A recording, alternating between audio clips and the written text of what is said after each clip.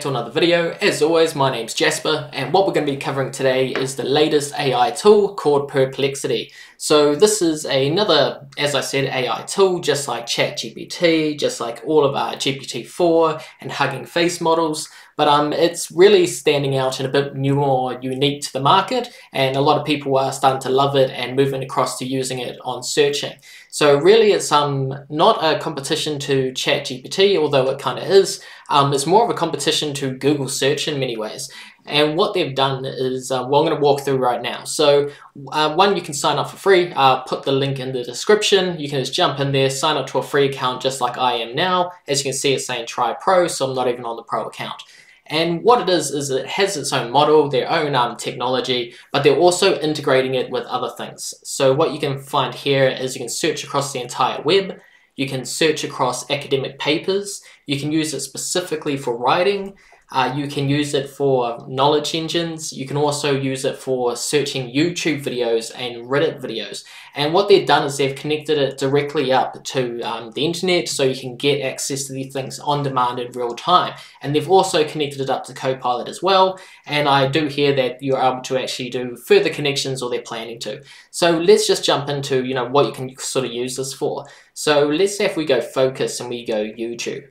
And obviously right now I'm creating a video around perplexity. So maybe we want to find some information around that. So let's go, um, what are the most viewed videos on YouTube about perplexity? And let's see what happens.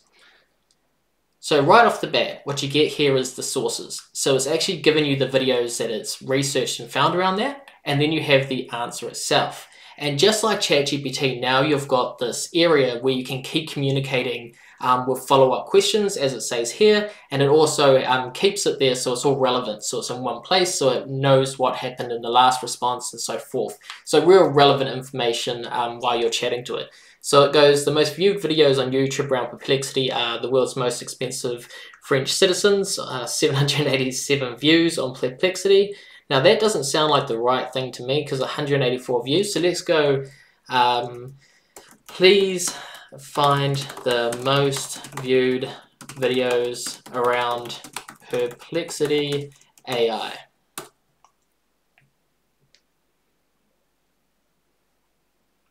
There we go. So now we've got the right thing. So this is talking about, based on the searches, there is one only one video related to Perplexity AI, which is titled All Features You Didn't Know.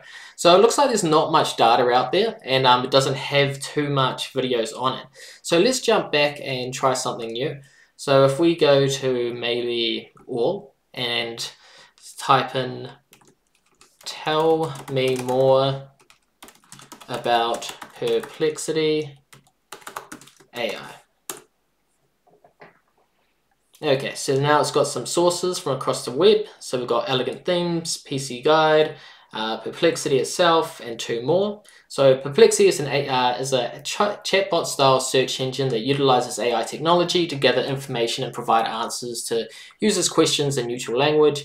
So real generic things, the same that's built just like uh, OpenAI's GPT-3 and blah, blah, blah. So um, as you can see, yeah, I guess it's searching the web for that.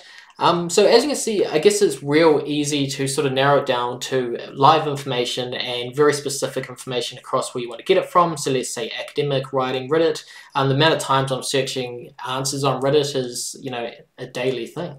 So I guess, you know, you could use this instead so you can search for stuff on Reddit. So let's ask, um, what are some good AI subreddits? Let's see what happens.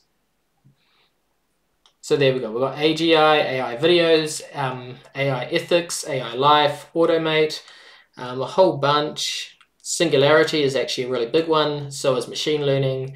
Um, but yeah, so obviously I listed them out. It's getting that data um, straight from Reddit, which is cool. So um, yeah, really exciting. It is a new sort of product that's just released, so it has, it's not too old. You can also get it on mobile as well, so you can download it to your phone. Um, a lot of people are just using this to sort of replace Google search, um, but I'm going to look real forward to see what else they come out with and the sort of integrations that they'll actually go further the more, I guess, focus and integrations they have, the better. If you can sort of uh, not just focus on YouTube and Reddit, and maybe you'll start leaking into other third-party applications, which would be really cool. But you never know. Um, I believe also Rabbit AI has partnered up with Perplexity to um, provide some of their well, features within their device as well, which is cool, which is showing that uh, Perplexity is going places. But thanks for watching the video. Look forward to seeing you in the next one.